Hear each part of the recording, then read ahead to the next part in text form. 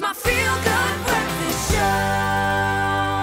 Oh, yes, Mzansi, welcome back. Your Feel Good Breakfast Show is here, opening up on S3 to so much good food, good conversation, and maybe a little bit of entertainment, but in a classic kind. We're talking with Eric Dippenaar. He is a, and I don't know if I'm saying this correctly, a spinetist or a spinetist. We're going to find out for sure. I hope I'm not embarrassing myself, but he's an artistic director at the Cape Town Baroque Orchestra. Now, he's here this morning to chat us, to us more about the Cape Town Baroque Music Festival, and it's taking place this coming long weekend. So let's give him a feel good welcome. Yes.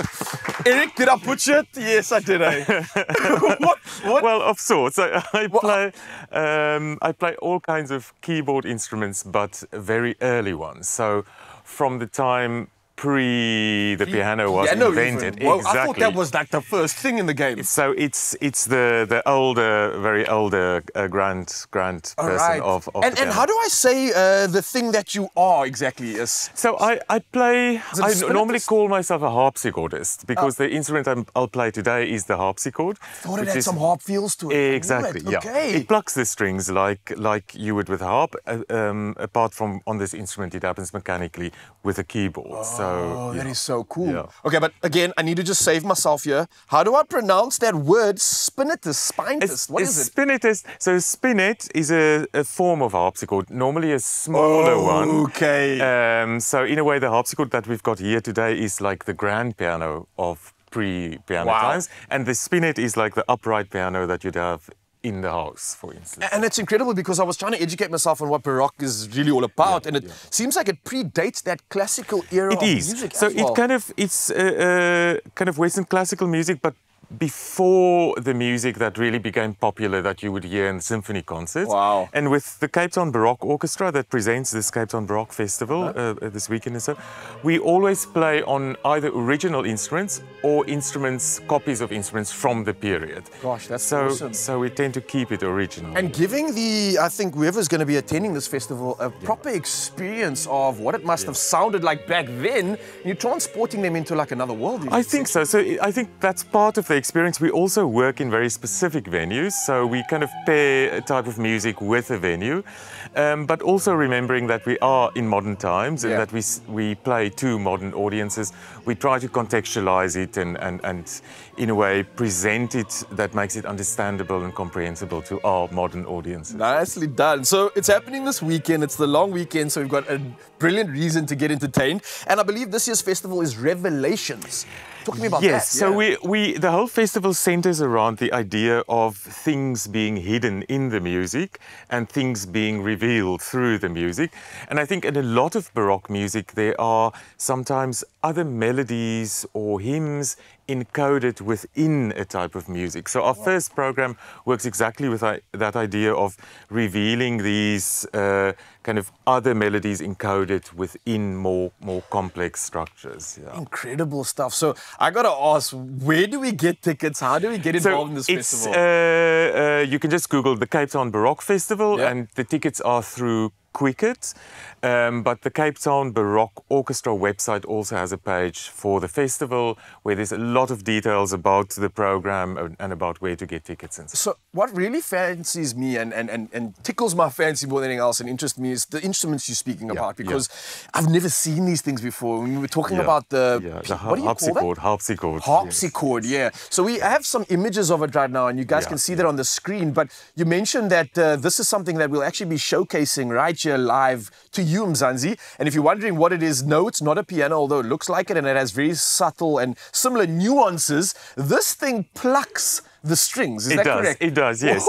Wow. And uh, it's all wooden. It's not like a, a, a- piano that has a steel structure. So it's it looks big, but it's quite light. So it resonates differently when it comes Very to much. Yeah. It's all about the light structure that resonates. And also, um, Ralitza, my colleague who's going to play later, her she has a copy of a Baroque violin, and the strings on that instrument is uh, made out of real sheep's gut. So Sheep's it's, gut? Yeah, it's Wow. not metal like you'd find on a modern symphonic instrument. So we really try to go back to That's kind of eh? original materials. Does that to- give a different sort of a sound to it? it does. It's more textured and it's a bit softer and, and indeed more resonant. So I, Yeah. I'm I'm blown away, but- and, and I know we don't do this quite often, but we don't get a beautiful piece of equipment or instrument like this.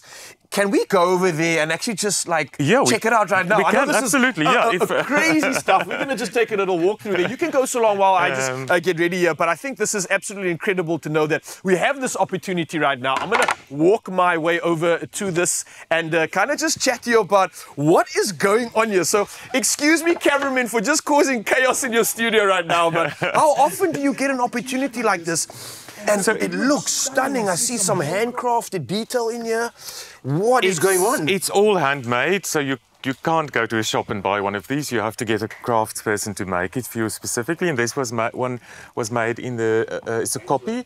It was made in the um, 1970s, and um, so the only thing that's uh, metal about it is these strings are brass, And- a and- soft historical brass. I wanted to ask you about that because I don't know if the camera can get close enough to actually see this now, but it looks like a spider's web in terms of the thinness of these strands. Yes, it's like exactly. silkworms came together and collaborated with some kind of crazy human Yeah. being and made this thing. What, what is that made of exactly? So that is a soft type of historical brass, and I think that's uh, also a difference. A modern piano's got uh, uh, uh, uh, steel strings and so on, but this is a very specific type of stringing that would go onto an instrument like that. Um, and as you can see, it's got a keyboard like a piano, but Yeah. very often the white and black keys are uh, reversed, and it's Wooden all, all wooden too. It's all wooden too, and it's got uh, always these uh, nice kind of um, Yeah, detail, wooden details, details, or like, uh, hand carving. Yeah, yeah, and in this in, in this case it's uh, fish, and it suits me well because I'm a Pisces. Oh wow! So, so, this thing was almost yeah. made for you theoretically. I In a got to ask though, with regards to that that, that plucking Yeah. mechanism, Yeah. can you kind of show me? oh, I uh, can. what- if we, and- and I wonder if we difference can get a close up here. Oh now. yes, look Yeah, at you can. this. I don't know if the it's, uh, cameraman can see that. Okay. Those black uh, bits that actually plugs the strings, those are uh, made from Oh bird's quill, the quill of a, of a feather. Yeah. You're joking. So, yeah, that's still after hundreds of years. Somehow the natural material still works best. I don't know. My mind is blown away because what I've just realized is that somehow you've harmonized music collectively with nature in order to Yeah. bring this Yeah. phonetic experience to the world. I think so. What are you doing? This is I incredible. think it is, um, it is one of the most wonderful things Yeah. of live music on acoustic instruments because the music actually resonates with your body in a way. It's made and you can feel, you can hear the sound vibrations, but you Ah. can also feel it in this space. And I think that's, that's hopefully why live music will never disappear. That is so. absolutely special. Well, Mzansi, we have every reason to stick around because we're going to get a first-hand experience at this beautiful piece of art. You get to hear it firsthand, and you've got every reason to get your tickets for this long weekend. It's starting this weekend. Head over and get those tickets. It's only 100 bucks, and wow, an experience to transport you to another world awaits. Nicely done, man. Thank you very much. Awesome stuff.